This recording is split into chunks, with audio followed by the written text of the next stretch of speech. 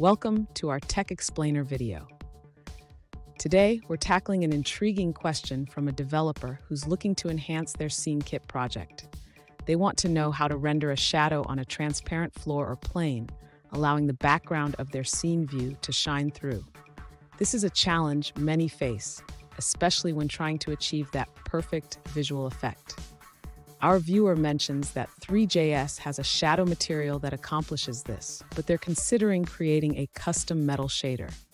Let's dive into the details and explore how they can achieve this shadow catching effect.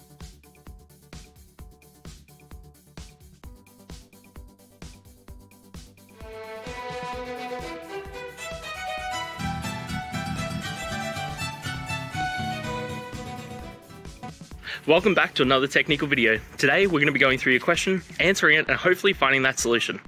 Guys, remember to stay just a little bit crazy like me, and hopefully you find that resolution. Now, let's continue on to the video.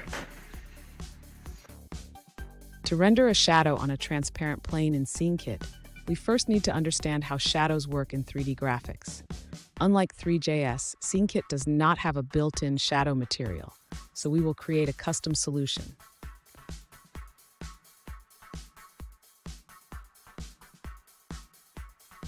The first step is to create a transparent plane that will act as our shadow catcher. This plane will be invisible, but will still receive shadows from other objects in the scene.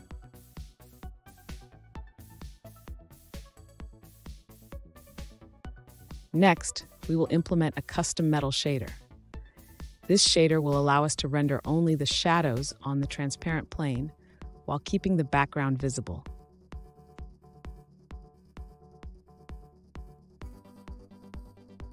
Finally, we need to configure the lighting in our scene.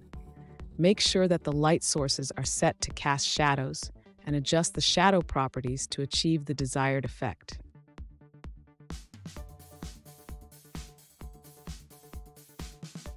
By following these steps, you can successfully render shadows on a transparent plane in SceneKit, similar to the shadow catcher in Maya.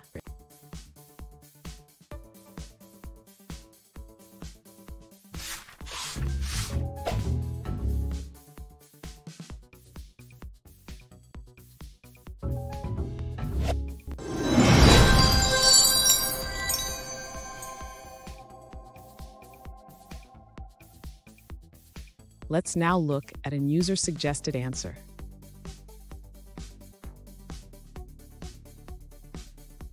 To show a shadow on a transparent floor in SceneKit, check out this example project on GitHub. The shader performs shadow map testing by normalizing the Z position of the fragment and comparing it to the shadow map's Z buffer.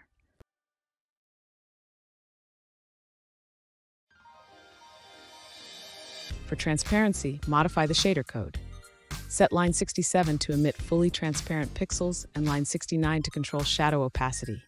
Use a uniform for shadow opacity ranging from 0.0 to 1.0.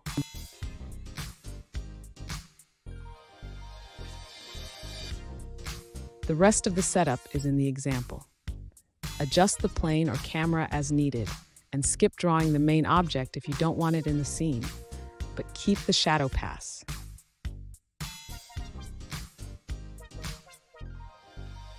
And that's it guys. We've gone through the solutions and I'm hoping that it resolved your issue. If it did, please hit the subscribe button. I'd really appreciate it. And until next time, I hope you have a good one. Cheers.